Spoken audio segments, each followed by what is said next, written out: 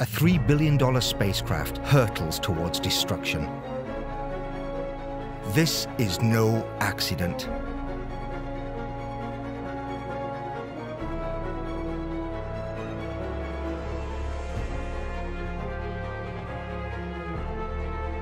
It's a sacrifice to protect what this mission has revealed, including a moon with the building blocks of life. Have liquid water, you have energy, and you have organic material. So if there's anywhere in the solar system other than Earth where some kind of life could exist, it could very well be at Enceladus. With fuel tanks almost empty, Cassini's time is up.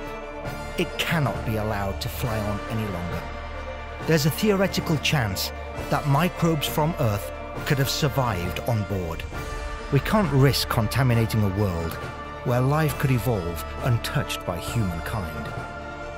It's a spectacular end of an extraordinary mission, taking us closer to Saturn than ever before.